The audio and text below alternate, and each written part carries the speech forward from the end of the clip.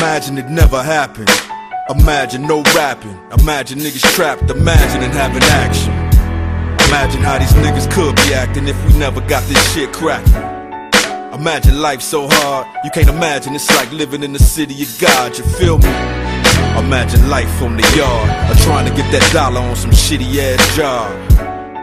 Imagine Biggie with his son. Imagine Pop getting called Pop by one. Imagine a mother struggling, dealing with a system that don't give a fuck about who shot her son. Hmm. Imagine life where you can't win.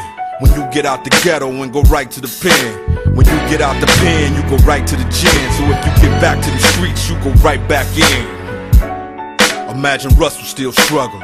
No Def Jam, just another nigga hustling. And ain't no rocks on them fellas, just rocks on them fellas, just trying to keep it bubbling. Imagine niggas just stuck from the east to the west coast, everybody fucked up. I can't imagine no less, but it don't take imagination to know niggas been blessed with hip hop.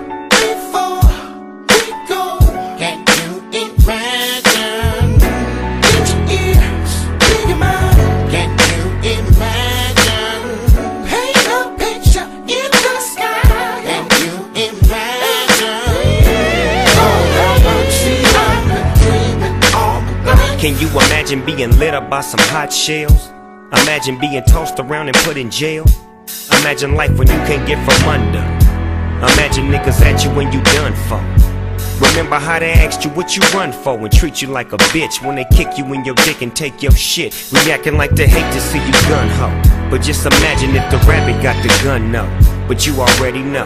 Imagine niggas in the LBC. Felt just like Snoop Dogg and DRE And felt just like the niggas in the 213 Then imagine that's what's coming when you fucking with me. Imagine you was up on top of this shit.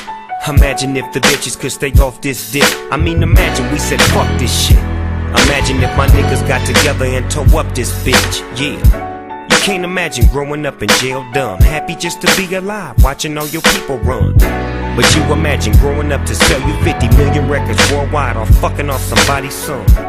Imagine if these niggas never saw a color. Would it be peaceful in them streets where niggas kill each other? All a drunk fool get his pissed on balls.